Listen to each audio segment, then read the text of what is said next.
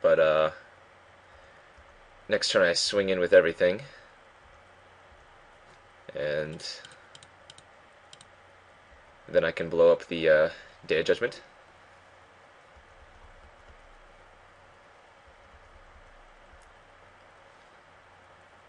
So he un- or so he tapped his blue, so that means he obviously doesn't have an unsummon, or else he's just you know tapping out. So I can Day of Judgment here. Um. Ooh, totally forgot about the milling. Yeah, I'm gonna mill three. That puts me down to nine. Uh, what did I lose? O-ring, Phantasmal Dragon, and stuff. Well, maybe that was the wrong play, cause I'm not too worried about any of this, and I do have a two-turn clock. Huh. Think, think, think. So what happens if he has a Titanic growth? He just flat out wins. You know what? I think I'm going to use the Day of Judgment right now. I can play the Assault Griffin next turn, and he probably doesn't have too much left in the tank. Runeclaw's fine. Aether Adept's a good one. Um, let's see, I'm just going to go with the Assault Griffin here. Next turn I can play the Griffin and the Aether Adept.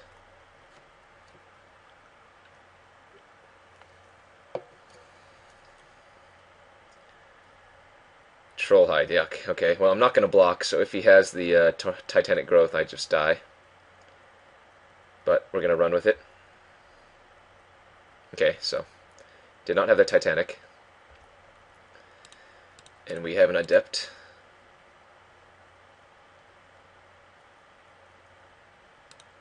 Yep, super good for us. And we'll play out the Griffin. No need to play out the land. Keep him guessing on that one. Oh, he has unsummon. Okay, that's fine. We still have a few creatures. Well, that's no fun. He drew an Aven Fleetwing. Uh, we're still pretty good here. Especially since we drew another flyer. No reason not to attack. We'll, we'll trade with for a bear. Right now we just need to put some pressure on since we're dead in a few turns. Oh, my computer's starting to run slow. I might have to restart after this. Next turn we're just going to swing all out with the air. Looter, yeah, that's fine. Aegis Angel. Sick top deck. We're just going to make the Assault Griffin unblockable, or I mean, not unblockable, uh, indestructible here.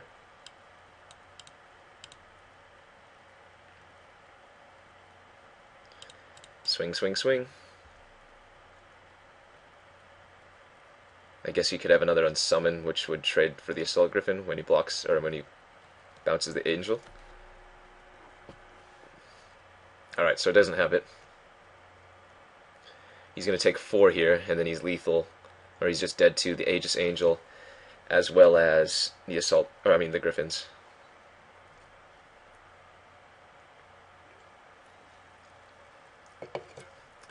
Yep. Alright. Goes to four. Now he needs to find something pretty sweet with the looter. Uh, he does have mind control, probably, so... Well, I, I can't even say that for sure. I guess Frost Breath would save him a turn. Yeah, Frost Breath would save him for a little while. Um, yeah, that's about it. Oh, Stingerfling Spider. That would be a good one. I think I just lose to Stingerfling Spider. Interesting note. Oh, never mind. It's just for as long as you control. So if he has the mind control and the Aegis Angel, then um, I lose indestructibility on the Griffin. We'll see what happens. He's taking some time to, to think. Turns out flyers are pretty good. Alright guys, so we got the game. He didn't have anything left in the tank. Ooh, we have not seen Alabaster Mage yet, but uh, yeah. Anyways, we're 2 0 so far for this four round daily M12 event. Uh, we'll see you guys for, I guess, round 3. Yep. Alrighty, folks, we're here for round 3 of this daily uh, M12 seal event. Opponent's chosen to play first and mold, and yeah, we have a pretty good hand. Got the Griffin Rider and a Griffin and an Armored Warhorse and some other sweet stuff. Let's hope we draw something something else sweet. All right. Hmm. So we have the decision, I suppose, of pondering first turn or getting our Armored Warhorse out, and I think I'm just going to go with the Armored Warhorse. That sets us up with a turn 3 Griffin Rider as well as Ponder. And so, uh, Things are looking pretty good. And now we even have a dragon to drop. Ooh, our opponent is stuck on two land. So this should be a fairly easy win. Um, gonna go ahead and ponder first, see what we can come up with. Ooh, some good stuff. Yeah, we're not gonna shuffle our library. Gonna go ahead and play the Griffin Rider, and the next turn we can play the Griffin, or Assault Griffin. And, uh, oh, I take that back. That's unfortunate. I'm going to go ahead and lay out the Phantasmal Dragon then. Um, actually, no, I'm not. I'm going to lay out the Elite Vanguard and the Stormfront Pegasus. Uh, that way, if he has any removal, he's more likely to use it on this, and then when I drop the dragon, he's uh, more likely to be out of cards. Because ideally, you want to drop this guy um, you know, when your opponent's used quite a bit of removal already. Uh, that way, you know, a 5-5 flying is quite good. Let's see what he's got for us. Maybe a Mind Rot. Then he takes 6. Oh, a Manalith. Okay. Perfectly fine with that. Drew our Day of Judgment. We knew it was up there, though, because we pondered. Question is, do I stave off if he has another Wring Flesh? Oh, unsummon. Okay, never mind. That's actually pretty good for us. Because now when we drop the dragon, he's much more unlikely to have anything to uh, deal with it.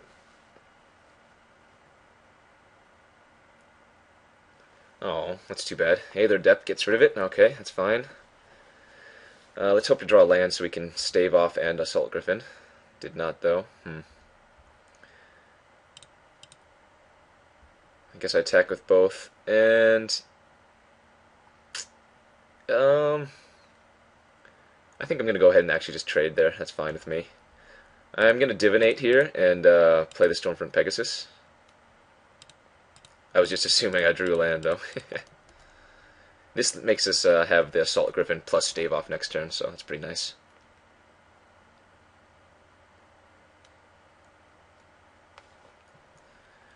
Alright, opponent has 4 mana. He has some good cards, so it seems. But uh, he was stuck on 2 land for a while, so... In that regard, not good for him. Um, yeah, I'm going to go ahead and trade off the Warpath Ghoul. I'm actually okay with that. I'm going to save the stave off for uh, our Assault Griffin. Um, and I'm not going to play the land there, because if he mind rots, well, then I'm just going to discard the plains and probably the Day of Judgment. Uh, you could have made a case to play the Siege Mastodon there while playing the plains, but uh, then we're a lot more vulnerable to, say, Mind Rot, or um, him playing like a reassembling skeleton or something. Something that can just block the ground. Child of Night and Azure Mage. Yep, that's fine. So now we can go ahead and lay out the uh, Siege Mastodon and the and hold back stave off. Uh, he's gonna draw. He's gonna have to draw something pretty good to come back from this one.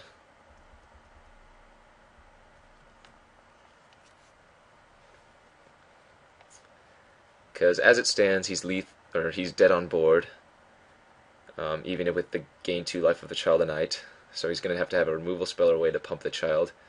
But even if that's the case, we have the stave off to uh, stop any shenanigans.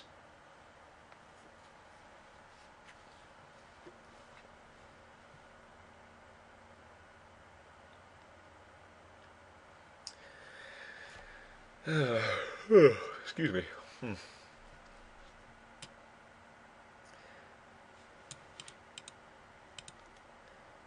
Alrighty, what's he doing here? Belltower Sphinx. Yeah, that's pretty good, I guess, but uh, we're just going to stave off the Assault Griffin for blue. And uh, that should do it. That was a nummy play. I think I'm going to start saying that catchphrase. That was nummy. The nummy. That was the nummy. Alright, that's cheesy, I know. But I gotta have a phrase, I suppose.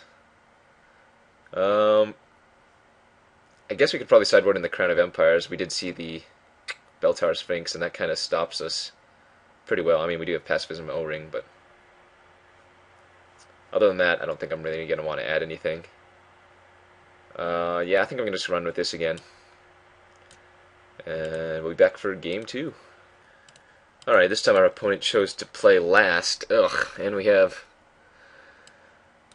a pretty sketchy hand. Um, he put us on the play, though, so we'd have to draw... We have like a 50% chance of drawing one of our lands next turn. Um, so risky, though. I almost want to keep this hand. I mean, I think you should probably mull this every time, but with one land we can play, with any land we can play the Stormfront Pegasus, and then um, either the Armored Warhorse or the Merfolk Looter. Hmm. So sketch. If we were on the draw, I think I'd keep it. But, you know, having like a, a 48% chance, ugh, does not seem good. Yeah, I'm going to have to ship this back. Alright, well I'm going to keep this hand. It's not very good though. We do need to draw do need to draw plains pretty badly. But uh if we can get the plains, or if we can hold off for a little while, we should be okay. Luckily, like clockwork, drew our or drew our plains. It's probably gonna get ring fleshed. Yep. So you know we're sitting in an okay spot. Definitely not good. Um, hopefully he doesn't have like a distress or something.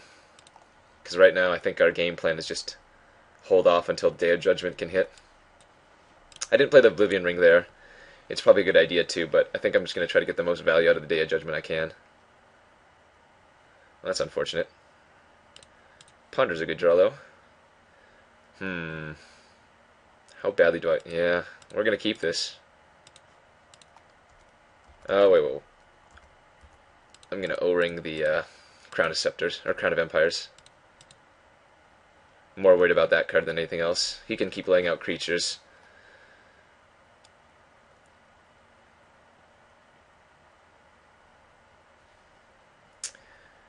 I'm just going to actually draw go here and pretend I don't have anything. Um, I'm going to take one more hit from his guys, but uh, I'm just trying to bait out a few more creatures for the day. Yikes, he passed the turn. Okay, well, I'm going to pop it now. Guess I should have probably popped it last turn, but was a risk I was willing to take. Ah, he's not drawing anything, so that's good for us.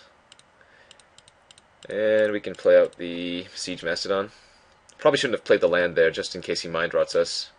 We could have been able to get rid of two lands as opposed to uh, Spirit Mantle and land. But he didn't have anything. So we're just going to try to get there with our Siege Mastodon.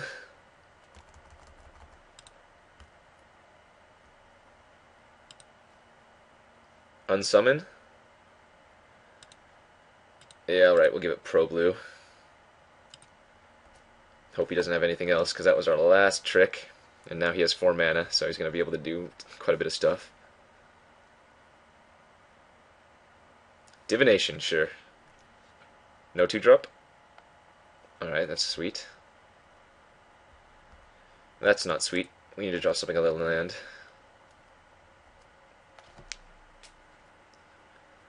Hmm, I wonder what would have happened if we had kept that one land hand. Ah well, we'll never know. See, I could be at six more life if I had just popped the Day of Judgment a turn earlier. Ooh,